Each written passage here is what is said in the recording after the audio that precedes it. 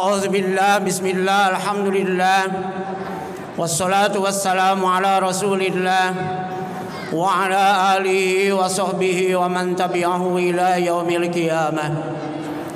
أشهد أن لا إله إلا الله وحده لا شريك له وأشهد أن سيدنا محمدا عبده ورسوله الذي لا نبي ولا رسول بعده.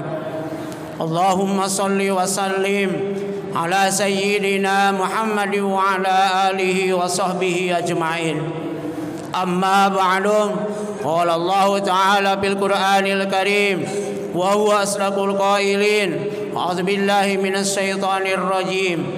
يا أيها الذين آمنوا استعينوا بالصبر والصلاة وإنها لكبيرة إلا على الخاشعين ألا يصدق الله العظيم وصدق رسوله النبي الكريم ونحن على ذلك من الشاهدين والشاكرين والحمد لله رب العالمين رب اشرح لي صدري ويسر لي أمري واحلل عقدة من لساني يفقه قولي Jemaah salat zuhur yang dimuliakan oleh Allah Subhanahu wa taala. Yang pertama dan yang paling utama, marilah kita bersama-sama memuja Dat yang Maha Gagah, Maha Bijaksana Allah Azza wa Jalla. Kita bersama-sama memuji Dat yang Maha Suci Allah Rabbul Izzati. Kita bersama-sama bersyukur kepada Dat yang Maha Masyhur, Allah yang Maha Ghafur. Dat yang Maha Rahman, Maha Rahim. Dat yang Maha Pengasih dan Maha Penyayang. Dat yang telah memberikan kesehatan, kekuatan dan juga usia kepada kita semuanya. Sehingga alhamdulillah siang ini kita bisa berada di tempat ini di tempat yang insya Allah mulia isi Allah Subhanahu wa taala karena ini adalah Baitullah masjid yang dimuliakan oleh Allah Subhanahu wa taala. Kita alhamdulillah diberi kesempatan oleh Allah untuk bisa bermuajahah di haflah mubarakah ini. Insyaallah mudah-mudahan kita selalu berikan keberkahan oleh Allah Subhanahu wa taala.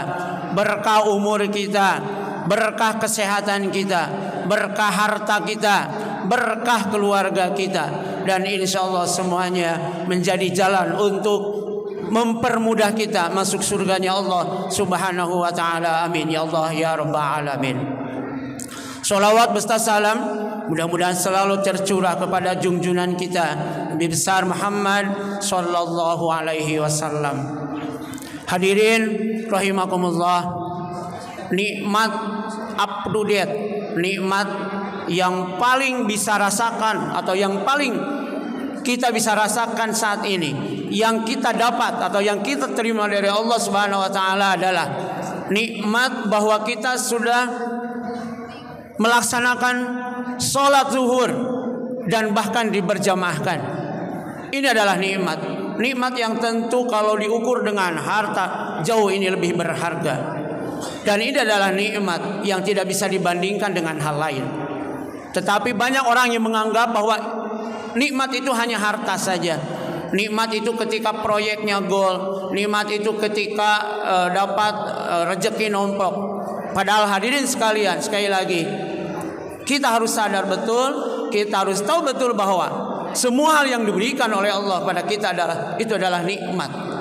Termasuk sekali lagi bahwa kita mampu melaksanakan sholat zuhur berjamaah di tempat ini bahkan diberjamahkan dan itu tentu saja sholat berjamaah lebih mulia dan lebih besar pahalanya lebih tinggi derajatnya dibanding ketika kita melaksanakan sholat sendirian hadirin rahimakumullah alhamdulillah mudah-mudahan kita termasuk orang yang memakmurkan masjid karena yakinlah bahwa orang yang memakmurkan masjid adalah orang-orang yang beriman kepada Allah. Kita juga kebagian sesuai dengan apa yang disampaikan oleh Rasul bahwa mambana lillahi masjidan banallahu lahu baitan fil jannah. Barang siapa yang membangun masjid, maka dia akan dibangunkan oleh Allah rumah di surga. Kalaupun kita tidak pernah membangun masjid ini, karena siapa yang merencanakan ini, yang membiayai ini dan sebagainya, paling tidak kita juga alhamdulillah termasuk orang-orang yang memakmurkan masjid ini. Sehingga sekali lagi mudah-mudahan Allah memberikan pahala yang besar bagi kita dan insya Allah mudah-mudahan kita juga digolongkan kepada orang-orang yang membangun masjid. Hadirin rahimakumullah. Kita harus yakin bahwa sholat kita itu diterima oleh Allah. Makanya ketika selesai melaksanakan sholat ada doa yang diajarkan. Allahumma rabbana taqabbal minna sholatana wa siyamana wa zakatana wa ruku'ana wa sujudana dan seterusnya. Ini menunjukkan bahwa kita harus yakin dan kita ingin sekali bahwa sholat kita itu diterima oleh Allah. Kenapa demikian? Karena kita akan termasuk orang yang rugi ketika sholat kita tidak diterima oleh Allah. Orang yang muflis, orang yang potol di akhirat nanti kita tidak akan mendapatkan pahala dari amal apa pun ketika kita sholatnya tidak diterima. Oleh karena itu hadirin sekalian, maka ketika kita selesai melaksanakan sholat selalu diajarkan dan selalu kita panjatkan kepada Allah doa untuk diterimanya sholat kita. Dan itu menjadi keharusan bagi kita. Supaya Allah menerima sekali lagi solat kita. Dan ibadah-ibadah yang lainnya. Nah oleh karena itu hadirin sekalian mudah-mudahan ini sudah sudah terbiasa kita. Sekali lagi doanya adalah Allahumma Rabbana taqabbal minna. Ya Allah terimalah dari kami salatana salat kami. Wasiyamana dan puasa kami wa zakatana dan zakat kami wa ruku'ana ruku kami wa sujudana dan sujud kami itu selalu kita panjatkan ketika kita selesai melaksanakan sholat harapan kita sholat kita diterima oleh Allah Kenapa demikian hadirin sekalian? Karena ketika sholat kita tidak diterima oleh Allah, maka ibadah-ibadah yang lainnya pun tidak akan berbekas. Dan itu akan sangat rugi. Kenapa? Karena sholat menjadi jembatan untuk diterimanya sholat atau ibadah-ibadah yang lainnya. Kita sering mendengar hadis yang menyatakan atau yang disampaikan oleh Rasulullah bahwa awwalu ma yuhasabu inda abdi yaumal qiyamah salatuhu atau as-salah. Bahwa hal yang akan ditanyakan nanti kepada umat kepada umatnya Rasulullah SAW pada hari kiamat nanti yang ditanyakan pertama kali adalah sholatnya. Iza soluha qad aflaha maka ketika dia sholatnya bagus, dia sholatnya ada, maka dia menjadi orang yang bahagia dan beruntung. Tetapi ketika sholatnya tidak ada, maka dia termasuk orang yang rugi. Kenapa? Sholatnya tidak ada, Sedangkan ibadah-ibadah yang lainnya yang kita lakukan yang begitu banyak yang kita lakukan semuanya diawali dengan baiknya sholat kita, benarnya sholat kita dan diterimanya sholat kita. Oleh karena itu hadis sekalian, kalau sholatnya tidak diterima, kalau sholatnya tidak ada, maka sungguh kita termasuk orang-orang yang rugi. Berikutnya hadis sekalian, maka mungkinkah sholat kita tertolak? Apakah ada hal yang menjadikan sholat kita tidak diterima oleh Allah? Ada berdasarkan sebuah hadis. Namun sebelumnya, marilah kita dengarkan nada yang berikut ini.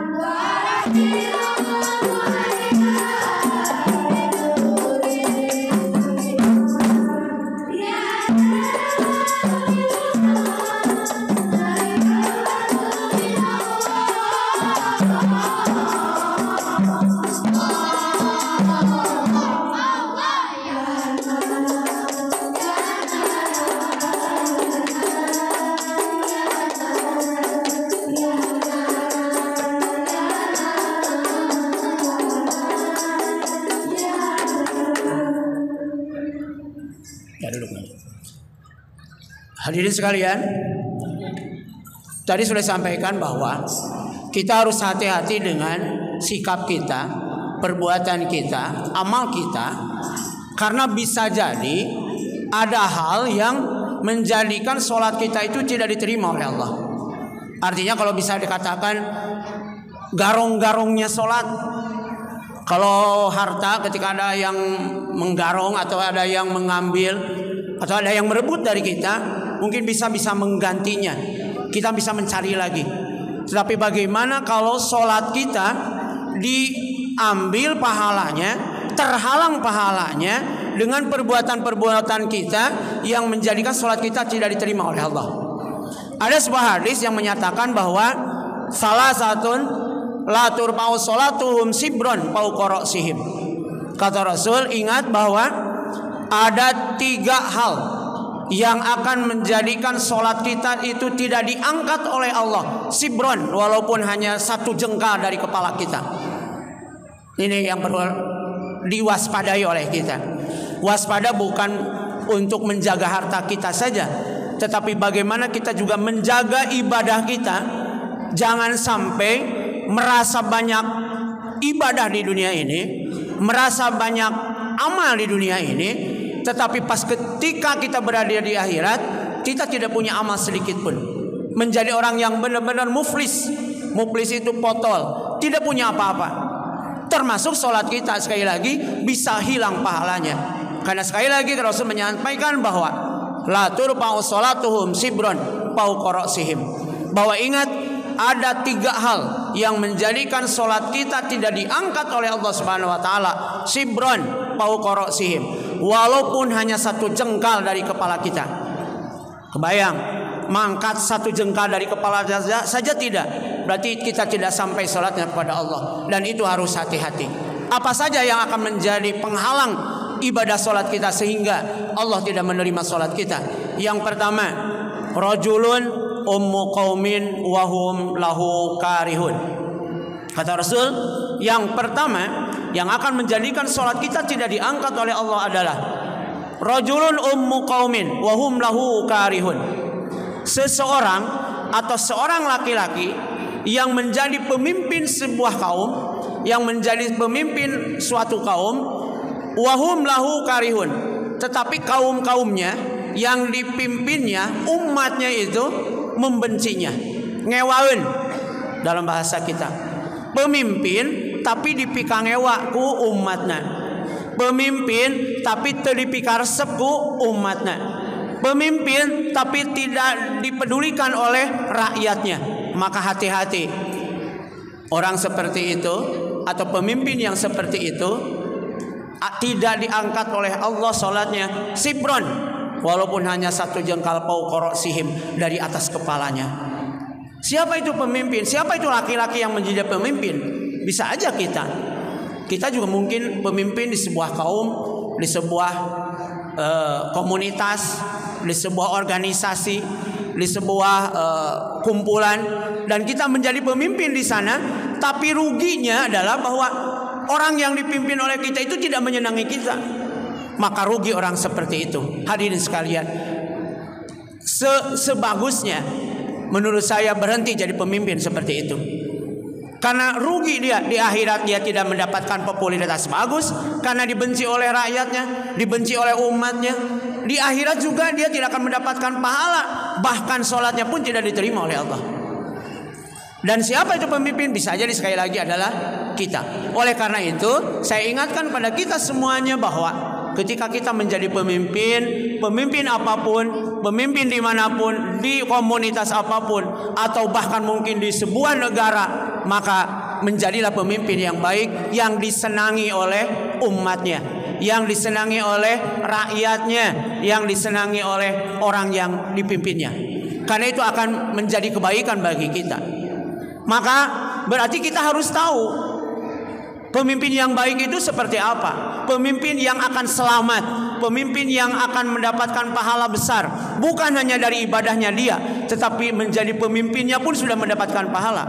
Rasulullah pernah bertanya kepada para sahabat, para sahabat Allah ukhbirukum bihiyari umarikum wasirarihim kata Rasul.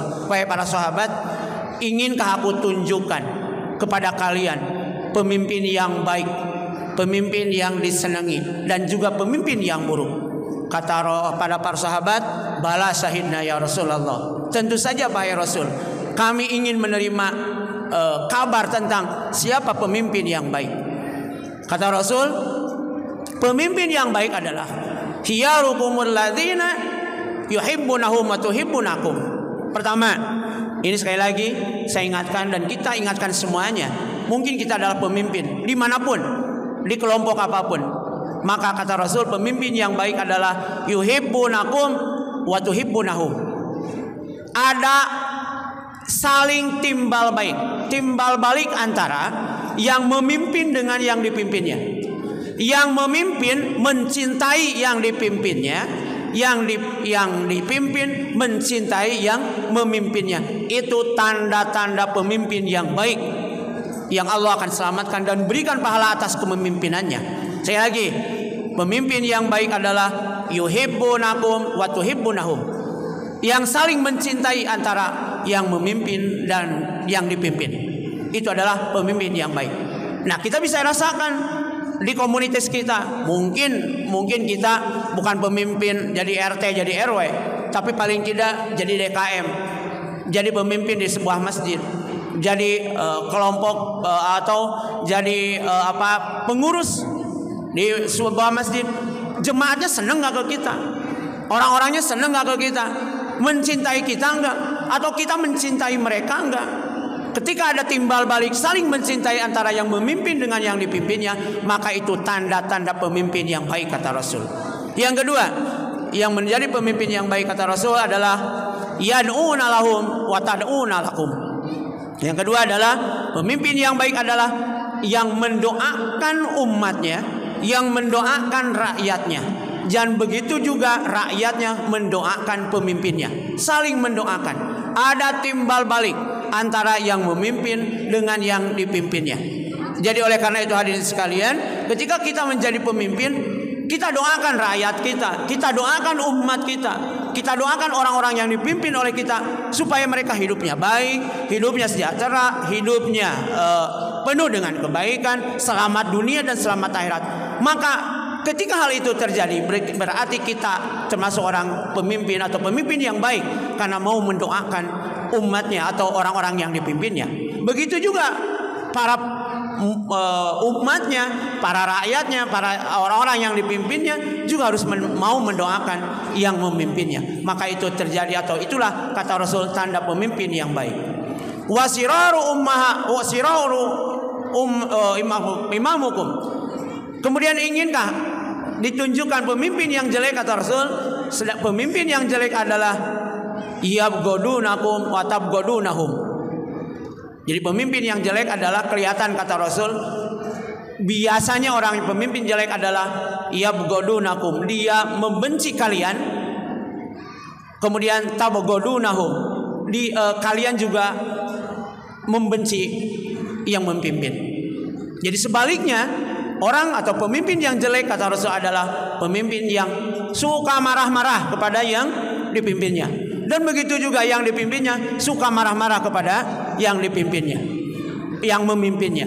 Bahkan lebih dari itu yang kedua tanda pemimpin yang jelek kata Rasul adalah orang yang memimpinnya melaknat orang yang dipimpinnya dan yang dipimpinnya juga melaknat orang yang memimpinnya. Maka itu adalah tanda-tanda pemimpin yang jelek. Hadirin rahimakumullah. Oleh karena itu, mudah-mudahan kita ketika kita menjadi seorang pemimpin sekali lagi di mana pun, kapan pun, di komunitas apa pun, di organisasi apa pun, maka kita harus menghindari hal-hal yang jelek atau menjadi pemimpin yang jelek. Kenapa? Kaumun uh, kata Rasul dikhawatirkan sholat kita tidak diangkat oleh Allah Subhanahu Wa Taala karena orang-orang yang dipimpinnya membenci kita. Berikutnya kita dengarkan lagi lagu berikut ini.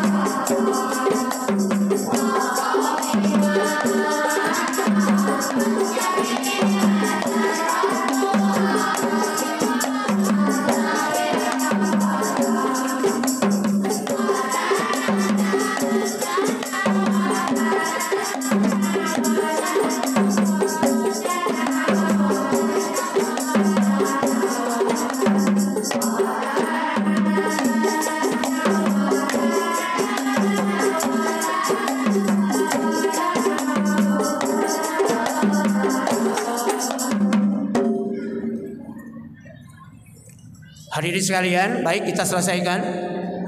Tadi sudah disampaikan sebuah hadis yang menyatakan bahwa ada tiga hal yang akan menjadikan sholat kita tidak diangkat oleh Allah Subhanahu Wa Taala, walaupun hanya satu jengkal dari kepala kita. Tadi saya sampaikan yang pertama adalah rojulun ummu qaumin wahum lahu karihun. Pemimpin yang dibenci oleh yang dipimpinnya. Yang kedua adalah wamratun batas laha zaujuha.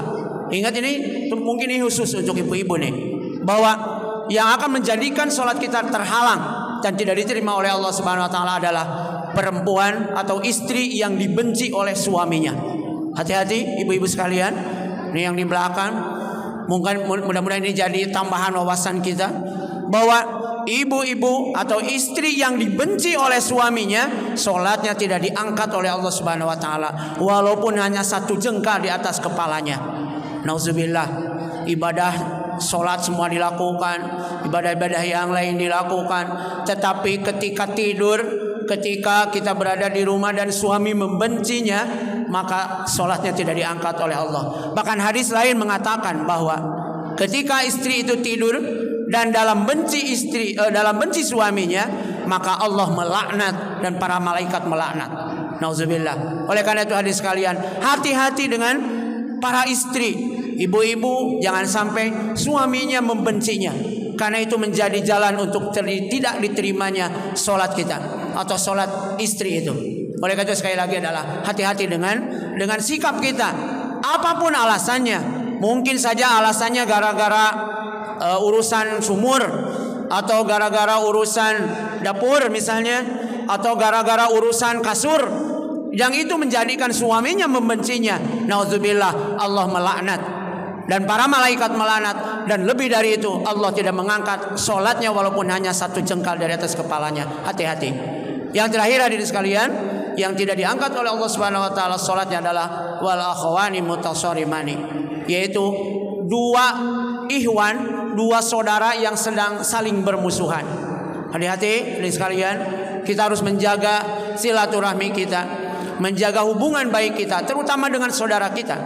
Karena ketika sudah menjadi saudara atau memang memang dari dulu atau senasab memang kita sebuah adalah uh, uh, memang uh, keluarga besar dan kita adalah ikhwan saudara senasab kemudian kita putus komunikasi kita kemudian putus silaturahmi kita bahkan kita papaseaan bahkan kita tidak baik dengannya maka hati-hati itu juga bisa menyebabkan solat kita tidak diangkat oleh Allah Subhanahu wa taala. Walau sibron walaupun hanya satu jengkal dari atas kepala kita. Wa akhwani mutasarimani dua saudara yang sedang bermusuhan dia tidak diangkat oleh Allah solatnya. Nauzubillah hadirin sekalian. Oleh karena itu hadirin sekalian hati-hati dengan semua sikap kita. Jangan sampai sekali lagi kita merasa banyak sekali amal karena menurut kita bukan saja sholat wajib, sholat sunat pun sering kita lakukan, bahkan sudah terbiasa kita lakukan, tahajud, duha, tasbih, dan semuanya kita lakukan. Dan kita sangat merasa banyak amal. Tetapi nauzubillah di akhirat kita menjadi orang yang muflis, yaitu tidak memiliki amal sedikit pun. Kenapa?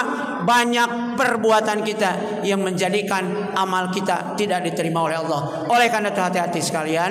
Mudah-mudahan ada manfaatnya. Jadi wawasan kita semuanya. Mudah-mudahan kita dilindungi dilindungi Allah Subhanahu wa taala dan amal ibadah kita diterima oleh Allah Subhanahu wa taala. Amin ya Allah ya rabbal alamin. Rabbana atina fid dunya hasanah wa fil akhirati hasanah wa qina adzabannar. Wa sallallahu ala sayyidina Muhammad wa ala alihi wasallam. Subhana bika rabbil izzati amma yasifun. Wassalamun alal mursalin walhamdulillahi rabbil alamin. Walafu minkum. Wassalamualaikum warahmatullahi wabarakatuh.